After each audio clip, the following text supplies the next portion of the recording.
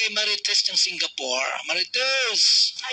Kumusta si Marites HD Channel, ha? Salamat sa Kumusta? Marites Ichi Channel, mega shoutout mga karami boy, paki-subscribe sa kanyang channel. Team Kabalikat, Karipa member, solid supporter ni Idol Paul Santos Matubang. Marites Ichi Channel, paki-subscribe mga karami boy, maraming salamat. Hello mga kaibigan, mga kababayan, mga kapamilya, welcome back kayo sa aking channel, Marites SG Channel. At ito na naman ang gagawin natin, gagawan natin ng reaction video kay Robilin. Ayan, update natin kay Robilin. At nandyan sila Jason, Kuya Jason, Mr. Benty Boy, aka Mr. Benty Boy. At nandyan din si Kuya Jean, sila Evans. Ayan, nung dumating sila sa lugar ni Robilin ay nakita nila doon sa tindahan at may binibili siya. At ah, sinabi naman ng kanilang kapitbahay na si Robilin ay nagwawalis na daw doon sa bahay ng kanyang kuya Wilson. Ayan. Ang sipag ni Robilin, gumaling, gumagaling na talaga siya. Sana tuloy-tuloy na ang iyong paggaling, Robilin. At nang dahil sa Ah, tulong ng Team Kalingap, ayan, may gamot na nga siya dahil pina-check up sa online, through online na pag-check up sa doktor. So, may gamot siyang ah, iniinom araw-araw. So, gumagaling na talaga siya. So, yun na nga, ah, binibigyan siya ng 500 bilang ah, sahod niya sa kanyang pagwawalis. Pero hindi niya ito tinanggap. At ah, hindi, hindi niya tinanggap. So, 20 na lang yung 20 dahil nandyan si Mr. 20 Boy. So, alam naman natin na 20 lang kang, ang binibigay. So, binibigay, binibigyan siya ng 20, 20. So, mm, ayaw ko niyan, sabi ni Robilin. Kaya, yun na nga.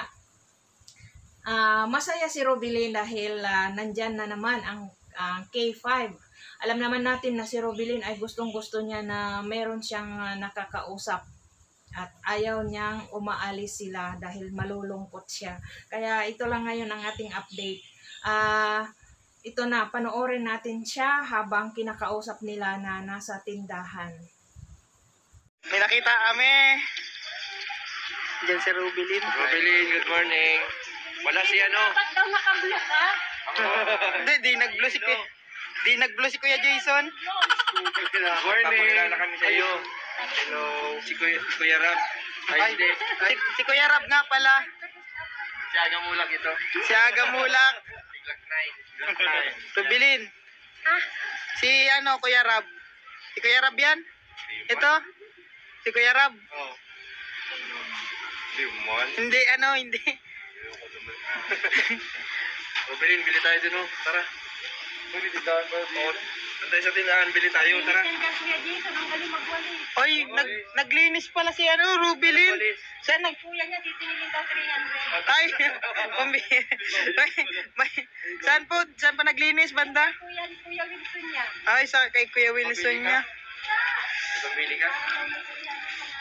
Masipag talaga si Rubilin.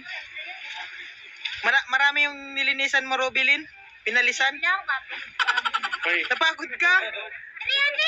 Ito, sa'yo na ito. Ay, grabe. Yan ay pasahod daw dun sa ano. Walis. O, pagwalis. Oh, ito. Oh, Kunin mo, oh. bago pati oh. 2020. 20. 20 yan, ano? Oh, ay, ito na lang. Ay, ito na lang. Ayan na na. Ayun na yung ano, Rubilin ng ano. Oh. Yan, oh. Ayan. oh, ito na lang oh. Rubilin. Ay, ayaw niyan daw niyan. Ayan, di ba, mga kalingap, mga kaibigan, napapansin natin na si Robilin ay magaling na talaga. So, ito lang ang ating update kay Robilin. At sa mga hindi pa nakapag-subscribe sa ating Lingap sa Mahihirap, Val Santos Matubang, Kalingap Rob, at Ate Edna Vlogs. At si Mr. Bente Boy na siyang dahilan kung bakit ah, natulungan si Robilin dahil siya ang nakadiscover nito. Kaya maraming maraming salamat at panoorin natin ang kanilang videos at huwag nating skip kanilang mga ads para makatulong tayo sa kanilang mga tinutulungan. At sa mga hindi nakakaalam, ang ang ads ay diyan sila kumikita para may maitulong sila sa mga nangangailangan ng tulong. Kaya God bless ating lahat.